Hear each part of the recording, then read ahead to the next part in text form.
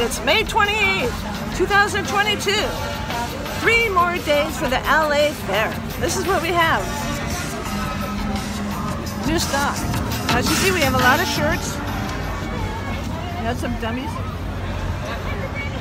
I wonder if this would make me look thinner if I put one of these on. These are new. Sweatshirts.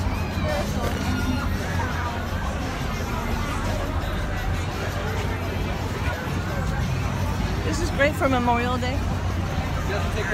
This, this shirt doesn't go here.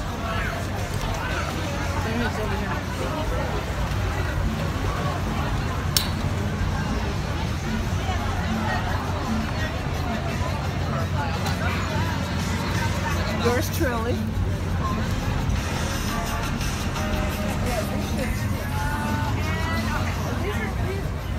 These shirts are cute. These have hoods.